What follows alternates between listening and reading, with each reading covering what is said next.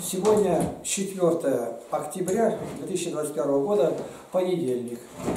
Ну, у нас, как всегда, подъем в 4.40. Я встаю раньше. Э, раньше я ложусь, ночью встаю, тут ночью, сегодня ночью я был с нуля, ноль, и до часа, час или полтора просидел. И тогда только лег, потому что ночью больше наплыв. Почты разобраться. Итак, в 4.40 я должен быть здесь. Через дорогу только перейти. Где я живу? Э, это Андрей Дробот строил. Домик уехал из моего материала, я заплатил ему э, согласие в письменном виде. Э, жена его, Анастасия, тут была, она не была, ну, чтобы согласна была. Это он, когда не женатый был. Он думал жить здесь, а тут мать ему пообещала дом, дом не дала, ну, такое дело. Дело в том, что там я нахожусь, моя ставка. А здесь через дорогу Владимир Александрович Пащенко. И у нас на молитву уходит, ровно мы начинаем молиться в 5, в пол шестого, как правило, заканчиваем. Ну, от силы бывает еще 5 минут. Э, утренняя молитва и 100 поклонная. Утренняя молитва считается. И э, по э, Новому Завету по порядку идет с толкованием блаженного Феофилакта. Я стараюсь скорее до дома дойти. В 7 завтрак будет. У меня целый час с лишним еще. Вышел. Я ни разу еще не светил себе ни телефоном, он там не светит, и не фонариком. Хожу в темноте. Сегодня выпал снег, его даже не видно. Я ногами ощупал. Такая темнота. Я заворачивался вокруг дома, и сарай. Я только был бом не стукнулся. Сарай даже не видать нигде. Не видно нигде калитка, пригляделся маленько, какой-то контур, а, это, это дерево, видимо, вышел. А тут ухабы, ухабы, три ухабина у меня через дорогу перейти. А сапоги как на коньках, скользко, тут грохнулся как, нет, раньше еще.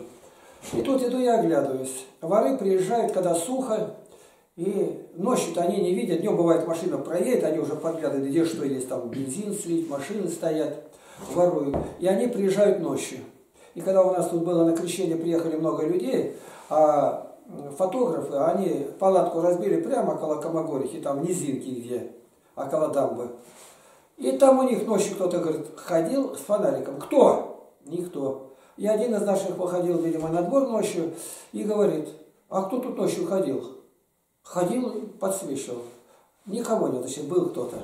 Никто, ну свои все люди, верующие. Я поэтому оглядываюсь, вот такая погода, сырость, тут след, дорога, никто не приедет. Гляжу, фонариком кто-то светит. Там, где Глушков живет, но похоже, что на уровне де де дерева и каден, мамрийский дуб называемая ограда была у нас, выдвигается так в деревню. И так я не мог определить, ближе или дальше. Но какое-то такое у меня Причисти, чтобы подальше еще дерево. Видно фонарик. Вот выйдешь, когда темно, на холодильнике огонек видит. Ну, фонарик. Я встал. Думаю, пока он дойдет, я тут перешагну, у меня осталось метров 15 до ограды, деревце, я рядом сяду на колени, это, на корточки-то, я узнаю кто. И он фонариком светит и пошел туда. Температура не минусовая, ни одна летущая мышь не летает – Никаких тут микробов нет, которые передвигаются. И микробы это маленькие, это фонарик, настоящий фонарик. И туда я стою, он сразу раз оттуда поворачивает назад, и вдруг начинает подниматься вверх до половины дерева. Это не человек. А что? Вертолета тут нету, летать не будет. И прямо туда, где домик, который Матушкин называем, то, и не доходя до ограды, останавливается, принижается и опять туда идет там трясет. Ровно так идет, доходит и обратно туда.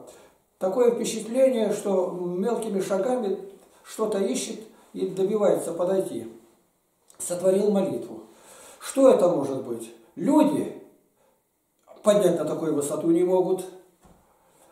Ни насекомых, ни зверей нету. В жизни своей я ни разу такого не видал темнота, ночь, сырость. Первый раз выпал снег 1 октября, 14 октября покров, говорят, покроется земля снегом. Я туда идти? Зачем? Я один ночью. Скрыться туда, я скрылся, дерево постоял маленько, глаза тут лучше стали маленько видеть-то.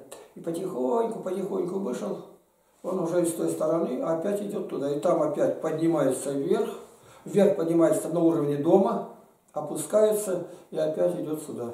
Может быть, не уровне дома, маленько пониже, выше, не в этом дело, но я вижу, это не человек. А тем более там сходишь, низинка какая. Что это может быть? Я говорю все, что есть. Это э, пол, ну, минут 35 шестого. Темно. Сибирь. Алтайский край, Мамонтовский район, поселок Потеряевка. Что это может быть?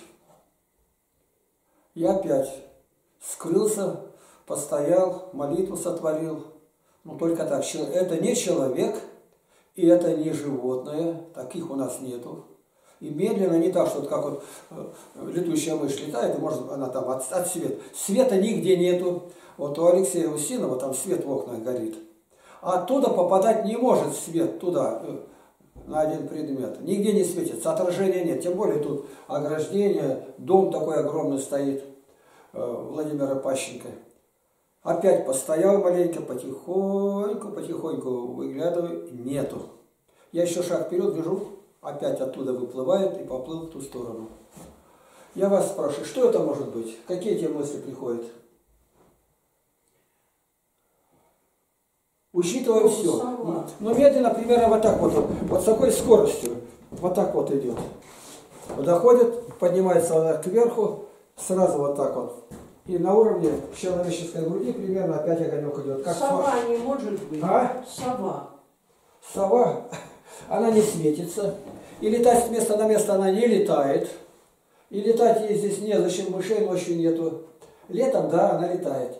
Снег прикрытый. Ни одна мышка на поверхности нет. Она умная сова. Я сов хорошо знаю. Совят держал ее. Воспитал. Нет. И на одном месте еще бы она ходила-то. Тут ничего нету. Тем более там крапива такая высокая. Так, что думаешь, Владимир Александрович? Не знаю. И я не знаю. Я не...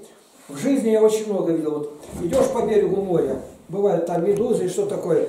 Ну и ногами песок-то задеваешь, а он как искрами, как будто бы я иду по углям.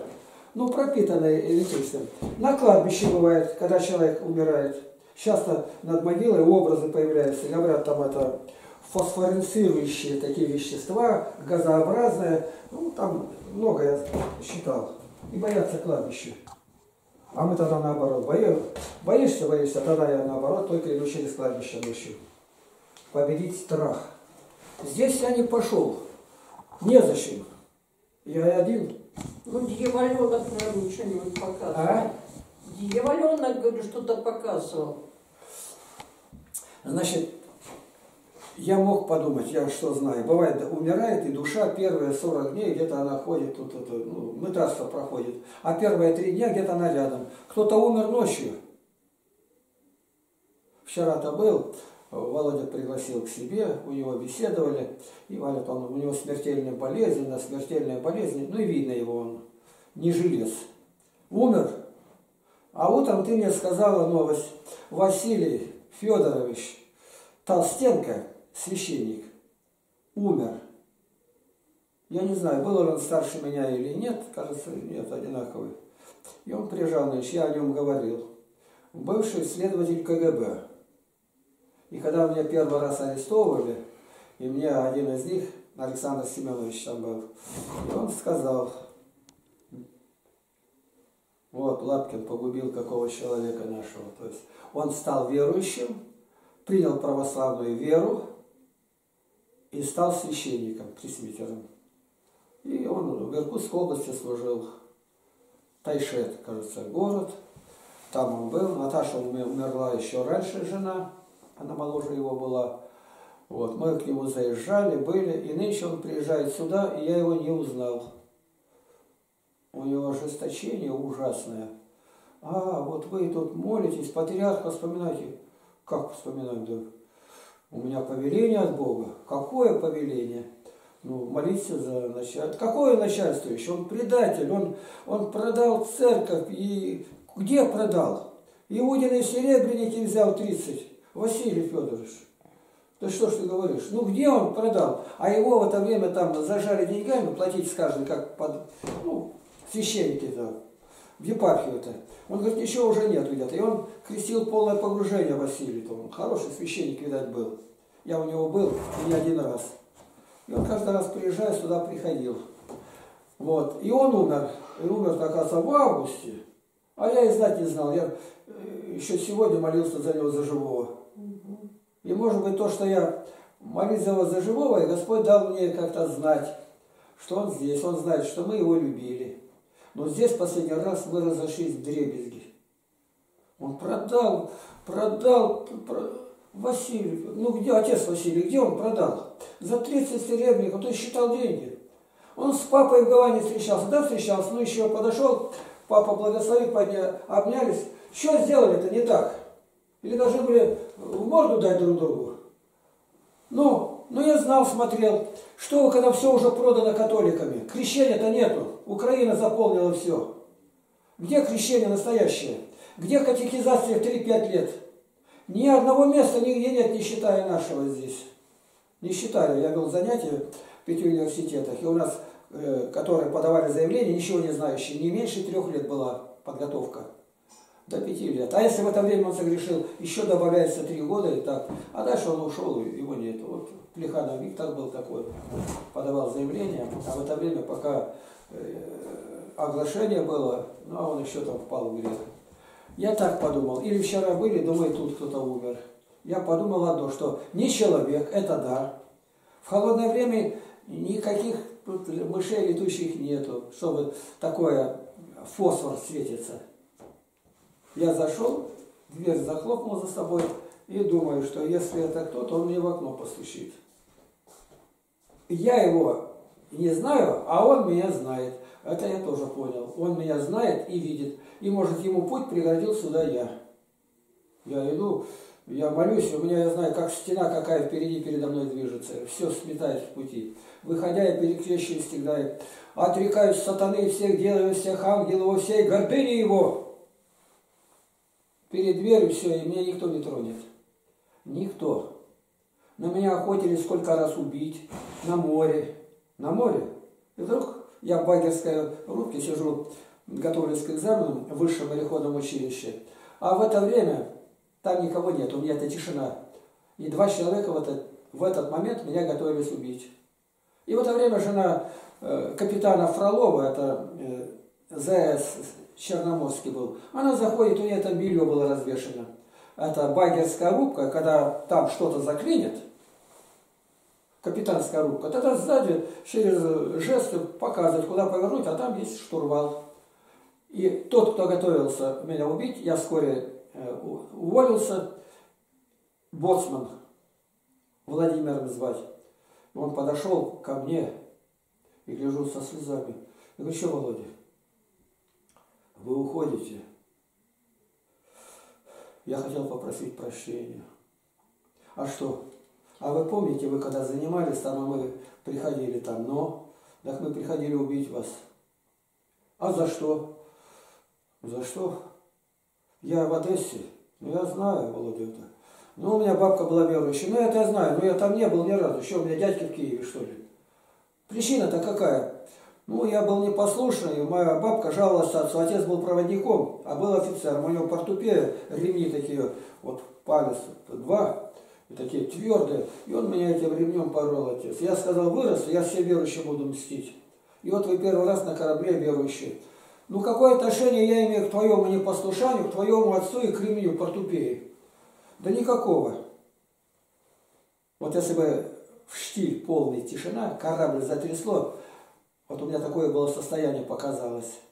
Но так как отношения были очень хорошие, ну обычно как сел я, маленький катерок и сразу на берег. А тут дали, видимо, договорились мы с собой, полный круг вокруг корабля со мной, они в это время сигналили кораблем. У корабля э, сигнал, это надо 100 машин таких, наверное, вместе, такие сильные, на километр до Кочеля слыхать будет. У -у -у, и меня вокруг везут, тишина, я плыву. Это я все вспомнил. К этому имеет это отношение. А в это время я когда приехал, ну какого было там, 4 октября, а сегодня 4 октября. 4 октября. Я сразу вспоминаю, я стою тут, гляжу на этот огонек, и мы сегодня читали четвертый псалом. Понимаешь, у меня как мысли-то пошли куда? Я думаю, сегодня там передали Володю Устинову, я ни одного слова не сказал, ни одного, даже А не издал, чтобы он сюда пришел, и у меня будем беседовать это же время, которое я не говорил. Он согласен был, пойдет или нет, я сейчас заеду, зайду туда. У меня все это в голове, неужели там это беда какая? Или это спасение бы? Не человек. Я несколько раз скроюсь, темнота, ничего нету. Я за дерево выгляну, плывет, видно, плывет ровно, тихо, поднялось кверху, пускается обратно. Я это ко всем говорю. Это для меня загадка. Это не этого мира явление было. В виде огоньков огнями являлись э, чистые и нечистые духи. Если это был ангел мой, который предохранял меня, может, кто-то караулит, когда я выйду из дома, ничего не знаю, но я просто знаю. Не человек, не птица. Ночь, какая птица? И чтобы одно и то же медленно. Сова летит быстро, она не может так лететь. Она упадет, если не будет махать крыльями-то. А идет, видно, как человек идет. Это сегодня, вот только, только сейчас это было. Я пошел. Спаси Христос за внимание. Сегодня меня написали, Надежда Васильевна, какая она красивая, какая она послушная. В роликах тебя хвалят. О, тут и моя награда какая-то есть. Ну вот, Владимир Александрович, подумайте об этом. Значит, Марина здесь рядом находится. Я к ней зайду, попрошу зайти, чтобы ты не уходила. Сейчас пойду сразу. Поняла?